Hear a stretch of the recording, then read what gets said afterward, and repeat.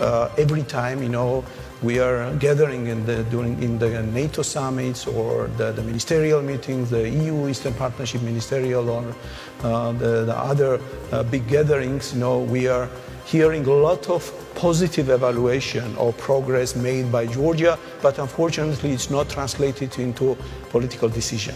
We understand, we understand the current situation. We are not naive to think that the situation which Europe itself is facing internally, all these uh, endless discussion on Brexit, on the, uh, the migration challenges, uh, as well as budgetary issues which are discussed within the European Union.